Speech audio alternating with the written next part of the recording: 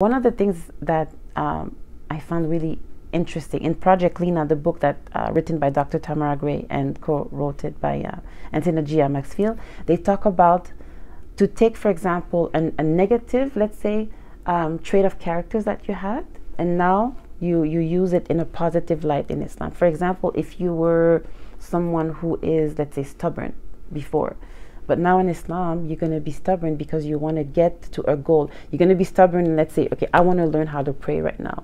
So you're going to focus and you're going to be, you're going to push yourself and really go outside of your, your comfort zone and be stubborn in that sense to help you learn your, your, your, your Iman. Another way is, um, it's not easy to make new friends. Let's just be honest. Because many of us come from a life where, and, and it's not everyone. Then again, I don't want to paint all converts the same some people, mashallah, they always had good surroundings even, even before they were, they were Muslim.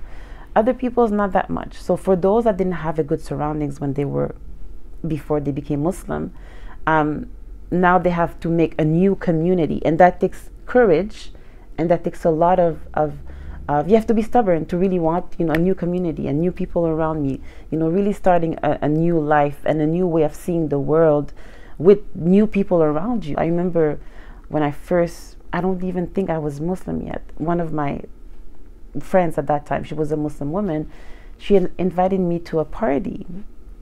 So the party was on a Sunday at one o'clock. I'm like, um, why do you party at one o'clock on a, on a Sunday? Who does that? And mashallah, it was it was all girls. So for me, it was like, wow, that's very different, very weird.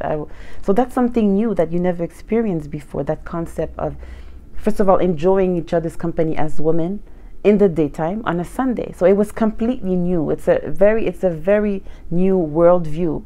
So even that, you have to be courageous and, and be stubborn enough to say, okay, even if this looks weird to me, let me see what's behind it. let me see what's really, you know, there, there has to be something deeper beside, behind this, this way of, of interacting with the world. Mm -hmm.